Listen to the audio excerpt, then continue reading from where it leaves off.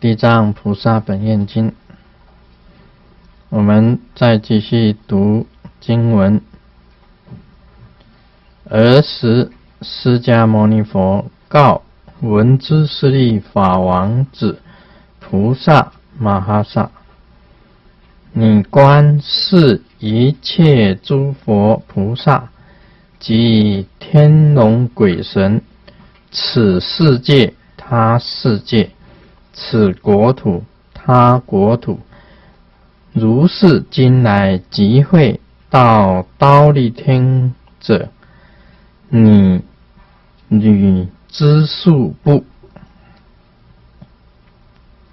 啊，这一段经文呢，就是在那个时候啊，释迦牟尼佛问这个文殊师利法王子说：“你看呐，这个。”所有的佛菩萨跟所有的天龙鬼神，这个世界的跟其他的世界的，这个国土的跟其他国土的，这么多的这个活菩萨、天龙鬼神都来集会到刀立天，你知数？嗯，你知数不？哦，这个。这个最重要就是，啊，最后那一句，就你知道这个数目吗？啊，这这一句是最重要的，也就是佛陀啊问文殊师利菩萨。那么释迦牟尼佛为什么问这个文殊师利菩萨？他为什么不问别的菩萨？因为文殊师利菩萨他的这个智慧啊。是 number one 的啊，number one，他是最好的，他的资历是最高。其实文殊师利菩萨他也是佛，他我们讲他过去已经是佛，现在也是佛，未来也是佛，他是古佛啊，是一尊古佛。那么问这个数日呢，也就是佛陀。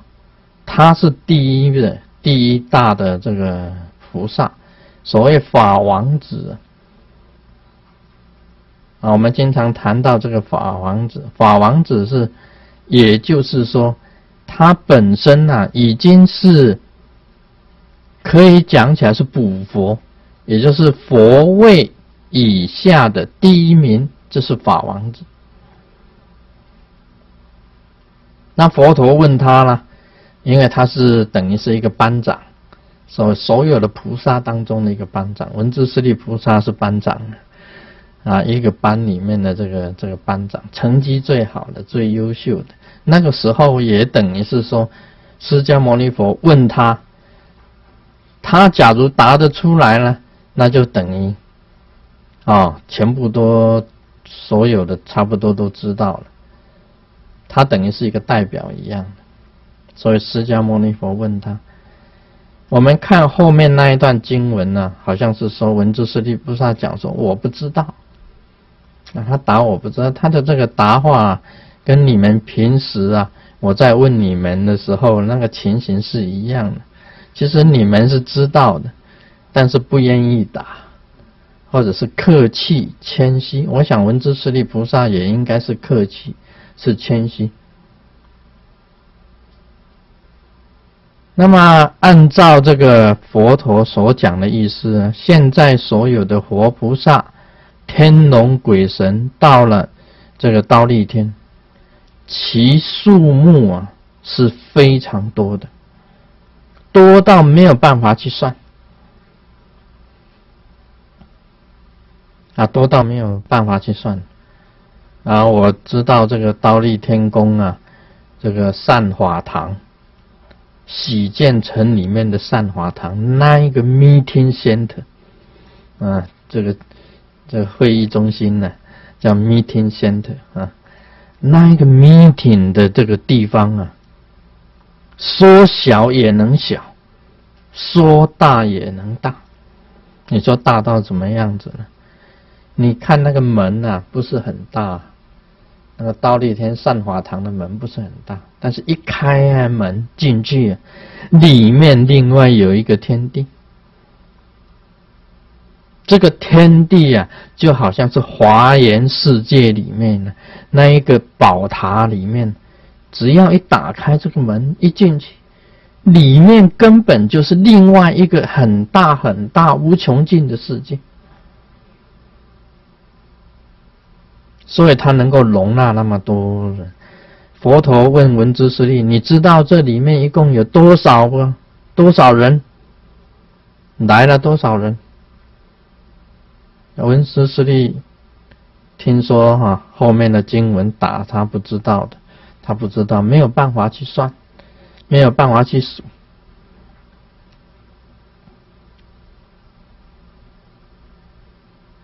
那么这个就是一个引言呢，就是释迦牟尼佛要讲这个《地藏菩萨本愿经》的一个开始，他必须要借着这个释迦牟尼佛跟文殊师利菩萨的两边的这样子对答啊，对答当中啊，引出要讲这一本《地藏菩萨本愿经》的一个引子啊，就是一个引开始的一个序。续起，拉开这个序幕。啊，什么？为什么要这样子讲呢？就是因为来了这么多，那么数目有多少呢？那没有办法数。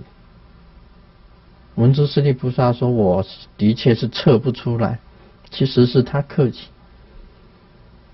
不过世界上确实有很多事情呢，你是测不出来的。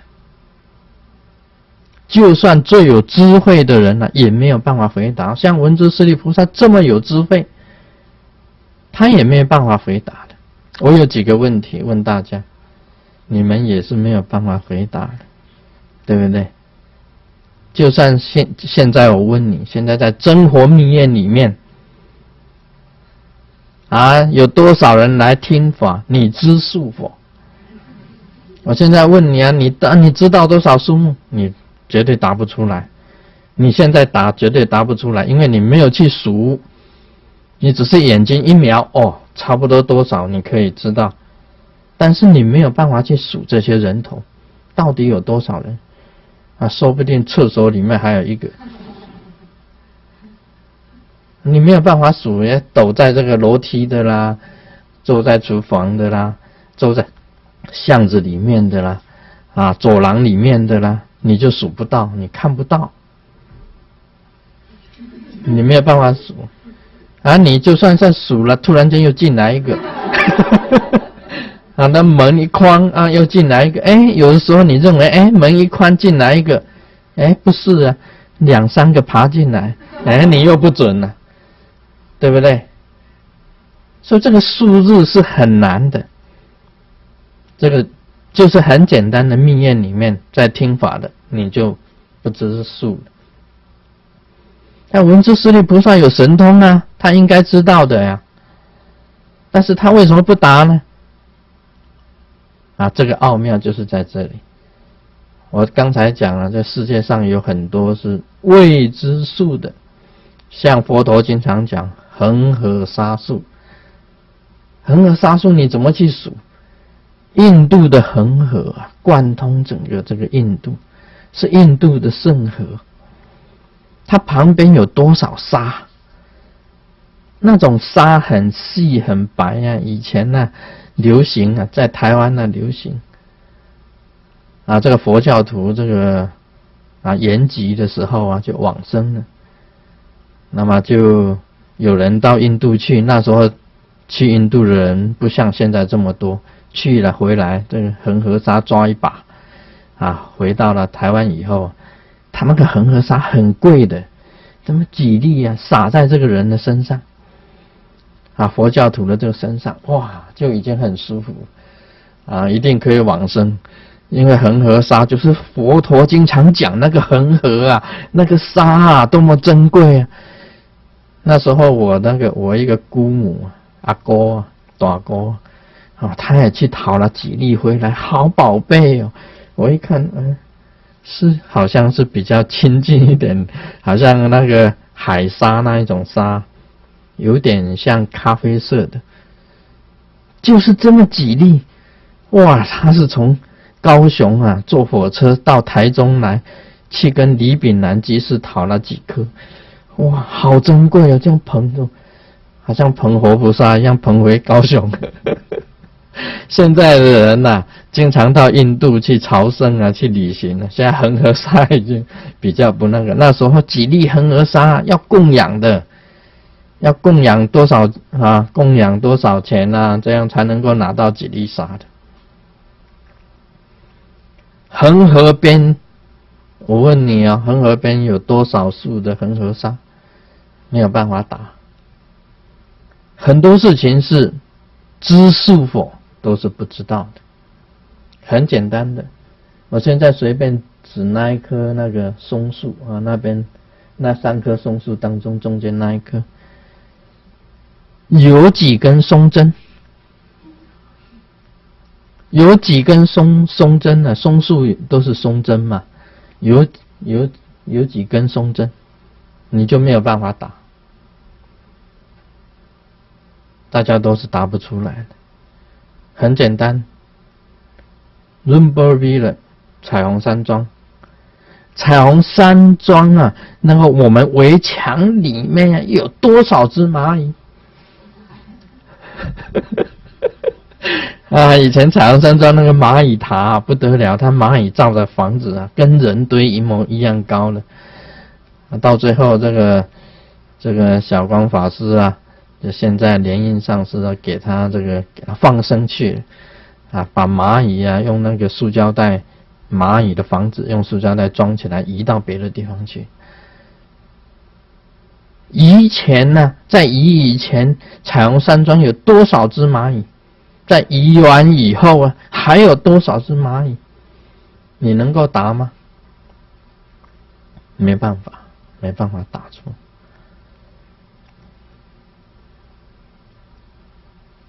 这一个最简单的问题，关系到你自己。你头发有多少根？啊，邓教头。法师啊，你头发有多少根？他也是答不知道嘛，跟文殊师利菩萨一样聪明。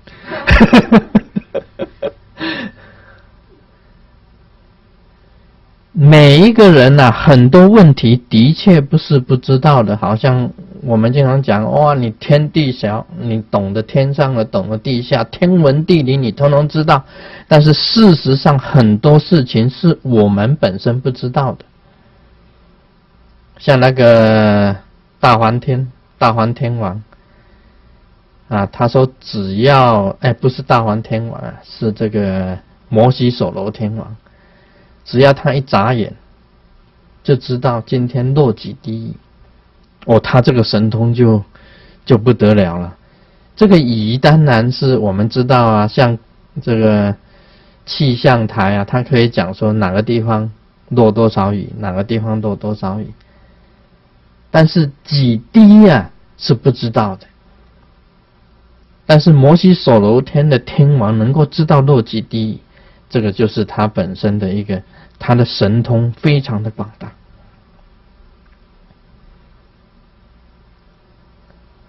每一个人身上有多少个细胞？明仪法师，你身上有多少细胞？他也是跟文殊师利菩萨一样聪明，不知道。文殊师利菩萨答不知道。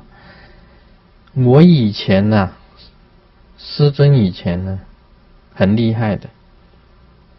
我的心通啊，很厉害。以前很厉害，现在就不厉害。以前很厉害，现在一样很厉害，只是现在哦。不再常用这一种心通。以前我在测啊，测这个树木，我说那个树木就是那个树木的，我说那个树木就是那个树木的。那以前在测为什么会那么灵、那么准呢？那么那么应验呢？为什么呢？因为把心放空。完全是由灵啊灵来指示的，你玩，你只要玩过这个碟仙的人呢，就知道，以前我们家里曾经呢有一阵子是关这个点线。好了，你这个房子里面几个人，你不用去问，啊，不用去数，但是你在关的时候，你就问他，他在走走走走走，你问他，现在这个房子里面，包括楼上楼下，房子里面一共多少人？其实你便没有数，在关的人也不去数，有围观的，甚至于没有围观的，通通不去数，他下下下下走一走。马上组出一个数日，数日出来啊！这个数日一组出来，然后你再去数，去点人头，点一点，果然跟他讲的完全一模一样。不过有一次差那一个，有一次是差那一个，啊，差了一个的结果，我们是说，哎，奇怪，怎么会差一个呢？那么在再找。啊，刚刚好有一个 baby 哈，有一个婴孩，啊，这个是还没有出生，在肚子里面，啊，他那个也算的，就是那个也算，就是说他已经是八个月大的肚子，他说加上这个 baby 的话，就是就是在啊那个数字刚好十一个人，那么我们算是算十个人，那么为什么少一个呢？原来那个。那个太太她身上已经还有一个一个八个月大的，这个这个碟仙到最后指出来，他说连肚子里面那个也算，啊，就是十一个，很准确的，很准确的。就像现在啊，我告诉你，我看不到走廊，我看不到厨房，啊。厨房里面抖着什么人，我不知道的；那个角落抖什么人，我不知道的。但是我眼睛这样一瞄，我便不是用我的这个眼力去数人头，我只是把我的心放空，然后手主伸啊，手伸出来，然后请这个灵士啊，请自己的心呢，请这个灵去算，这个手指张开，然后它跳动。点跳动，不过是一种数日的游戏。你本身并没有去点，但是你的心呐在想：这房子里面多少人呢？它只是出来一个数日，这个数日告诉你以后，我讲出来多少人？这房子里面多少人？你们开始点，一个站到这边，一个一个站到这边来，数目是正确的。一个都不会少掉，这个就是一般来讲的这个灵算啊，七子神算就是这样子算。这个碟仙呢，碟仙这个灵啊，能够算出来多少人？我一样也是能够算出这，算出那个数字出来的。啊，最有名的一次啊，就是。啊，我到这个澎湖拱北山去测量，澎湖拱北山测量。那么我的副连长叫魏清平呢，我写在书上了，那个叫魏清平。他对我这个说我会这个神算呢，他是一点都不相信的。他是完全是军人，我自己本身也是军人，但是我会算，他听说。只是他不知道到底是怎么一回事，他根本不相信这些。那么在拱北山的时候啊，就是住在那个 hotel 里面呢，住在饭店里面。那么他就是身上有很多铜钱，他身上有很多，他抓了一把，就是卢生燕。你说你会算，你是信佛，你会算。啊，信佛的人不一定会算呢。我是这样说。啊，那时候他告诉我，他说他什么都不信的，任何鬼神他都不信。今天我抓一把铜钱，我都不知道自己里面铜钱有多少个。今天你能够算准了，我服你。以后啊，我跟着你啊念佛，跟着你念经啊，我跟着你学佛。哇，他是很那个，开口就这样子讲，他说一是一，你今天不准，以后你不要在我面前谈这个事情。也就是说，卢生燕在我在测量年，他是测量年副连长，魏清平。他说：“你以后啊，不要在我连里面谈这个事情，从此以后你不要再谈这个神算的事情。”哇，这个考验是很大的。他是长官呢，我那时候是啊测量那工程师、工程官而已，他是副连长。我在连里面大家都知道的，但是他不信。他就是那一次做一个测验，我没办法，非答他不可啊！因为我不愿意受试探，也就不愿意受考试的。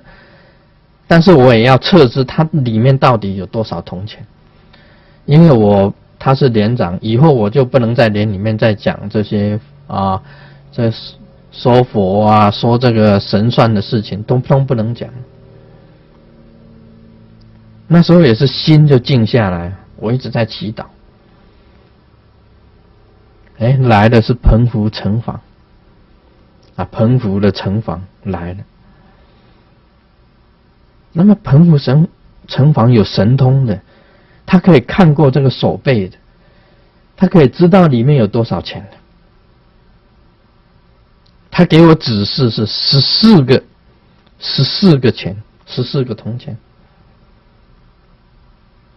啊！我既然胆子很大了，这一次不准的话就完蛋。我跟他讲十四个铜钱，十四个铜钱。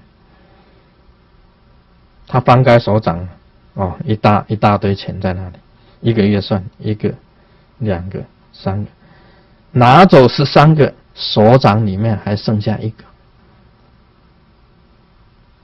刚好十四个。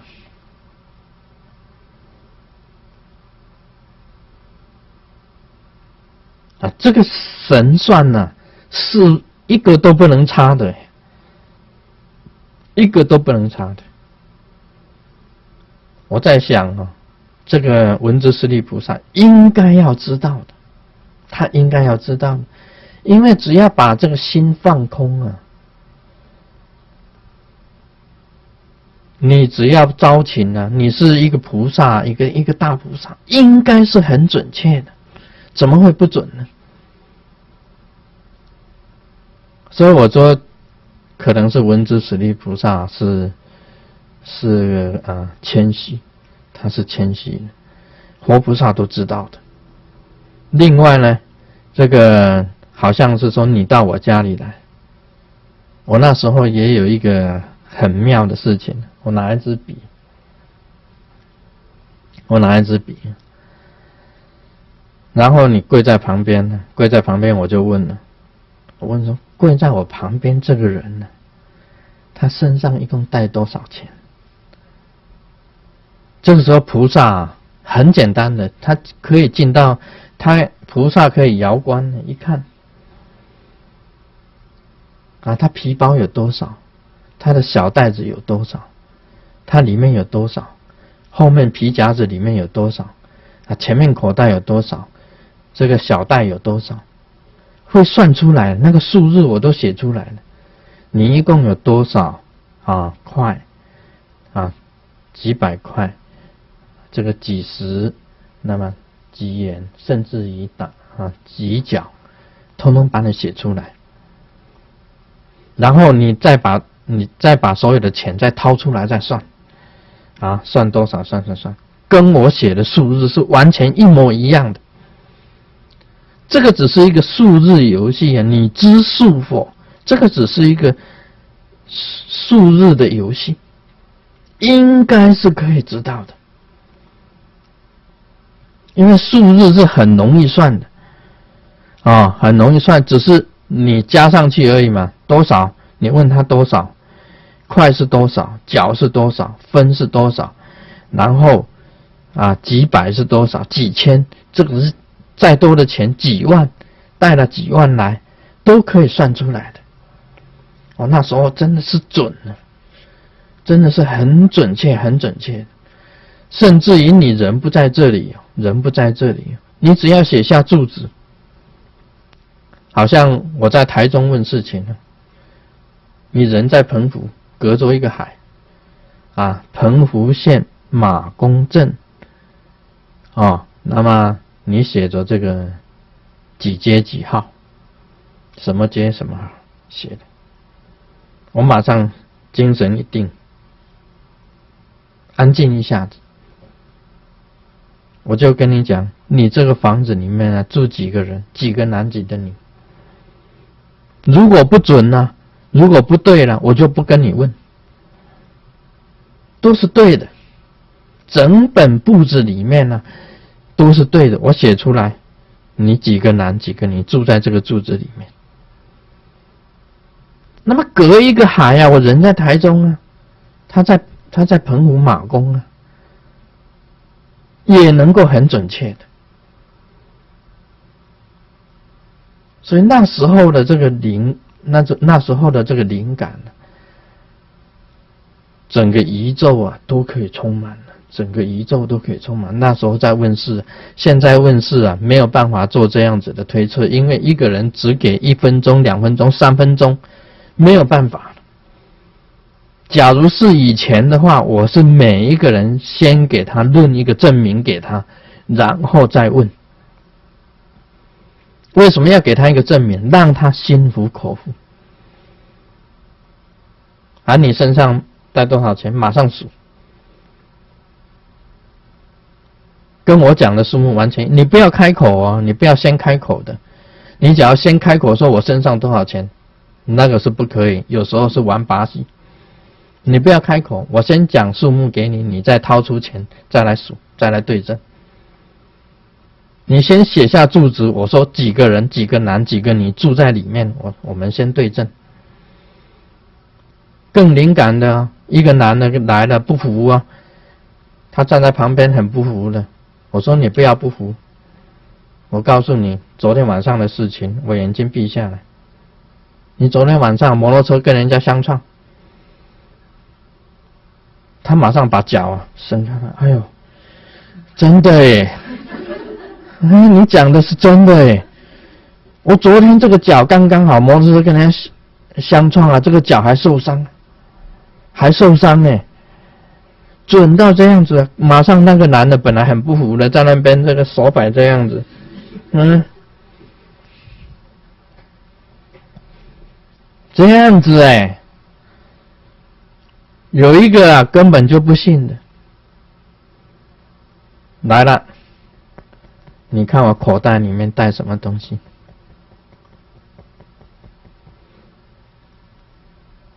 你说你很灵啊？你看我口袋里面带什么？你你啊，你算对了。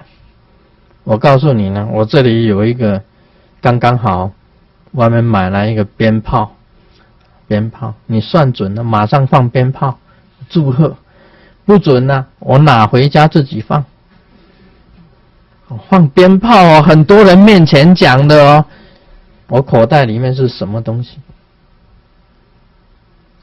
活菩萨写出来了，日莲中的南无妙法莲花经。日莲中的南无妙法莲花经放在你口袋里面，本来是很骄傲的，当场就跪下来，趴下来。拿出来给大家看，你看《南无妙法莲花经》，《南无妙法莲花经》。所以那个时候啊，真的是，哇！那当然的讲讲现盖价格啊，现盖价格，那些菩萨灵的时候啊，你知道啊，那个金子啊，摆在这个神案上面呢。哎，他们在神案上面跳来跳去，跳得很累了，啪，躺下来抓一个金子当棉被，啊，就躺在神案上睡觉，那金爪当棉被啊，啊，在那边睡得很舒服，真的是很灵感的。所以那那一段时间我写的东西特别多，我们我一直在写，写这个好像是那一段所发生的这一件事情。一件一件的事情，一件一件的事迹啊，其实测量也就是数日。你看我在深山里面问山神，说这个弦来高低多少？他告诉我数字跟下去测的数字是完全一模一样。那都有证人吗？那个测量官、测量士官呢，就是黄春风。十四个铜钱是魏清平嘛？每一个都是有证人的，我都把真实姓名写出来的。那个时候跟人家推测的这些数字不得了的，所以应该知道了七子神算啊，这一场法会会来多少人啊？以前很多人就问我，这一场法会会来多少人？应该排几桌啊？应该这个准备多少食物？这其实这个手指头七子神算都会，你只要把它放空。完全放空，心灵放空，由宇宙之间的活菩萨的灵啊来指示，他会弹的，他自己会张伸开的，像电脑的那个针一样的啊，会动的。然后呢，他会弹的，一弹出四日来，你就通通都知道，都明白。这个是一种心灵嘛，完全是一种心的开放而已。文殊师利菩萨应该可以开放。他虽然不要去一个一个数啊啊，哪一个是菩萨，哪一个是佛来报道啊，或者签名啊，他看那个签名簿 啊，或者哪一个天啊来多少个，哪一个这个神来多少个，哪一个龙来多少个，哪一个鬼鬼王来多少个，这样子拼命的这样子去去对，不用的，心一打开。他弹出一个数字，就是这个数字，应该是很准确。文殊师利菩萨可能在活菩萨面前，在不是在如来面前啊，在佛陀面前呢，他不愿意显这种神通啊，他不要了，他不想显这个神通，他做乖乖牌，啊，乖乖牌就很乖了，不知道。啊，让释迦牟尼佛去讲就好了。啊，他在这个佛陀面前显这样大的神通的话，这个不是给佛陀，给佛陀没有面子。其实好像佛陀也讲他不知道，他表示佛陀的意思是讲说，实在是九眼劫来显现出来，这个地藏菩萨所度化的众生啊。很多很多不可计数，跟恒河沙一样啊，跟彩虹山庄的蚂蚁一样啊，跟松针一样啊，对不对？跟所有这个宇宙啊可以比喻的啊，没有办法数的这些东西啊，都是一模一样的。哎，释迦牟尼佛主要的意思是在讲，根本没有办法数，他所度化的众生啊，没有办法数。那文殊师利菩萨他了解佛陀的心呢，他不是不知道了。他假如跟他讲出一个数字，佛陀就是讲给薄 啊，你你你那个鸡薄啊，对不对？啊，你我本来就是讲说不可数，你既然把这个数目都讲出来了，啊，几亿万啊，几多少数字通通讲出来，就没有话好讲。要讲地藏经呢，要有一个引子。这是释迦牟尼佛跟文殊师利菩萨对答当中的一个影子。啊，今天就讲到这里，我们来拜弥后。